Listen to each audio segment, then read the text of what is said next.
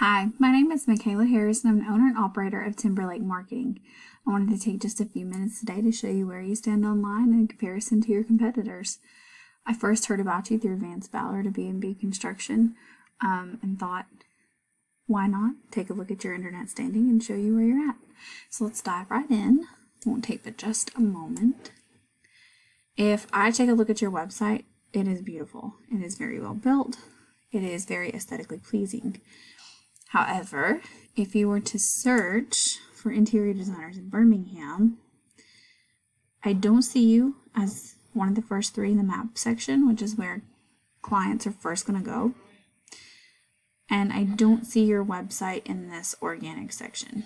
This organic section is important. It's where it's the next place customers are going to look for a reliable company to work with.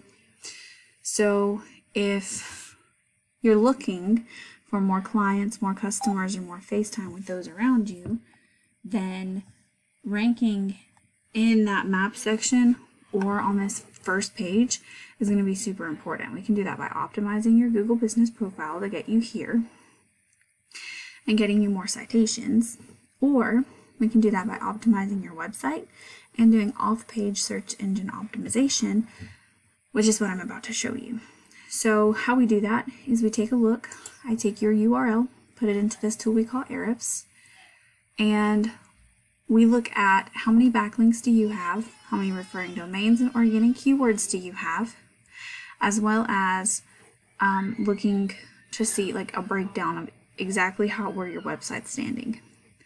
We take all this information and we compare it to the top people in this organic section. So if I take this URL plug it into the same tool, I can see how many backlinks do they have, how many referring domains do they have, how many keywords, and then you can see right here that 286 is 286 people clicking on that link every single month. That's how much traffic they're generating by being on that first page.